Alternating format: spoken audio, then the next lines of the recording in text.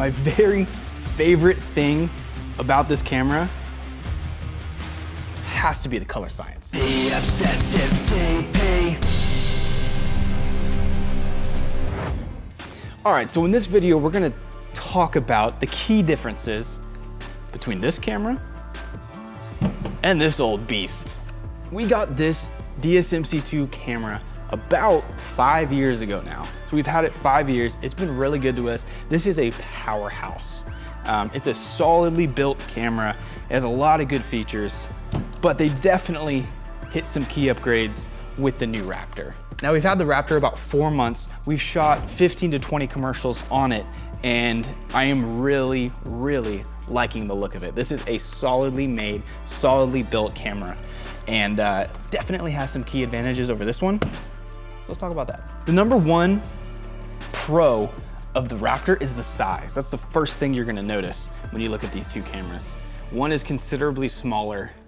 It's not massively smaller, but it is smaller. They did do some work in the smallness factor. And why is that useful? Well, for gimbal work.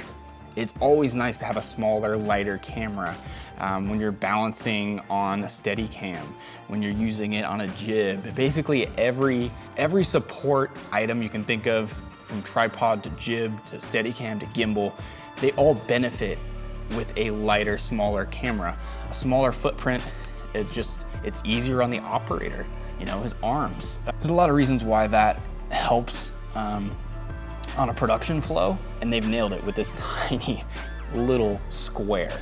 This little cube is bigger than the Komodo, uh, but way more features than the Komodo, so definitely worth it. Number two on this guy, the processor. Red, you finally listened to us, and we don't have a slow processor that feels like an iMac from the 80s. This thing actually is fast when you push the buttons. It actually, if you push menu, it goes to menu within a second. This old guy, it's got some work to do. You're gonna, you're gonna need to wait around a little bit when you're using the menu. Need, there's an extra ounce of patience that you have to have with this camera that you no longer need with this camera. So in, in intense production scenarios, which production is always somewhat tense, they've alleviated that for you guys. So you ACs and operators out there, you're gonna have a little less flutter flutter of your hearts when you use this camera versus this one. I've never seen this camera lock up yet. Oh, I have, ooh, I actually have seen this camera lag a bit using the full 600 frames per second at 2K widescreen. Now, when you're doing that, it starts getting hot, uh, if you go to playback, you're gonna have a little bit of lag. But in a normal 24 frames per second, 8K scenario, I have not seen any lag. Next big difference between these two cameras is the SSD. Look at the size difference. Huge. This guy is so small, uh, yet they can still pack in 660 gigabytes in this tiny little package, which works great. This, this is the fastest card. I haven't even heard of this card before this camera, but it is, it is so fast. One thing I missed though, is this, listen to this. That click, oh, so satisfying on set, so addicting. This just has this door, you know, kind of like an ARRI Mini, Alexa Mini, kind of like an Alexa Mini, and you just pop it in. Just a little click, click sound. That's not as satisfying. You hear that in a lot of other cameras. Still cool. It's shiny if you get the red version. It's got less like super shininess. It's from Angelbird, great company. I trust Angelbird Media so far with my life because I have not seen any issues. Where I have seen a little issue with this guy. Now this camera is now full frame. This is large format, so you can use large format lenses. You can get that extra out of focus bokeh with like a 35 millimeter, 24 millimeter that you're never gonna get with Super 35. So that's what's really cool. Also a little perk to this, this guy, if you're shooting full Super 35, you always have to shoot 8K. Once you start going 7K, 6K, 5K, 4K, it gets tighter on the lens. You're not gonna get as sharp with your lenses. But a cool perk about this is you don't have to shoot 8K. If you want Super 35, you just shoot 6K.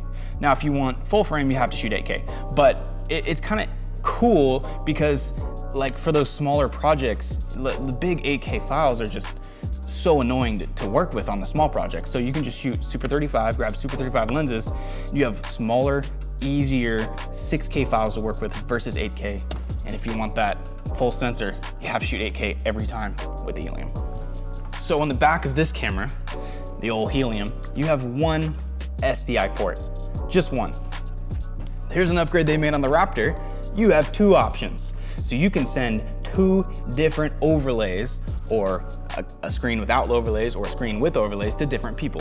How is that useful? Well, the director usually doesn't want to see how much is left on the card or uh, the stoplights or if it's recording or not or have you know a center overlay grid all that stuff. It's just nice to have a clean feed to the client and the director. So you can send two feeds. You can send an AC a feed with all that normal overlays so he can see how much is left on the card and if he's recording or not. And then director get a clean feed. It's a sweet upgrade. I love having that versatility. Um, on this one, you're just locked in to one. Now there was HDMI on this. No one uses HDMI. It's not, uh, this isn't Blackmagic. This is, so th that's why they got rid of it. there, there was never been any HDMI in our production flow. So SDI is where it's at. Okay, the monitor on this thing is dope. Now the integrated monitor on this was always good on the Helium. It was always okay. But the new monitor that they worked with in SmallHD, with this guy, I love it. Um, it's fast again. It has all your features just like the old monitor. So you can go through all the menus and change all the settings, but it's actually quick, which is super cool. And um, the color is great. The brightness is great. You need a bright monitor if you're not using uh, EVF outside or any kind of viewfinder, you need a bright monitor. It's the only way to go. And I love what they did with it. Um, there's a few issues I have, but overall, super solid monitor. And then you're not even using SDIs when you have that monitor. So you can send a different overlay to that too, which just makes this camera so versatile. My very favorite thing about this camera has to be the color science. I don't know why I haven't gone into the color science yet, but the color on this thing is absolutely gorgeous. It's a big step up from the Helium. Your images straight out of camera without LUTs or, or grading look way more filmic. You know, it's a lot warmer. Skin tones are warmer. The greens are warmer. Uh, they don't look as scientific. Um, that is the number one reason to buy this camera, honestly, in my mind. And it also matches with Komodo, which is just another plus because we have that as a B cam. So this is our A cam, Komodo's the B cam. This guy we're either gonna rent or sell. Anyone wants to buy it, hit me up. Uh, but it's still solid. I still view this as a workhorse. Like I don't yet view this as a workhorse because honestly, we've had some issues with it. We'll go into that in another video. But this, I trust my life with. We've only had one small issue that they sent us a totally new camera for, and that was years ago. But I view this as just like, this is a solid camera. I think this will also grow into that a mindset of mine as being like our workhorse for our company. Uh, that's my hope anyway.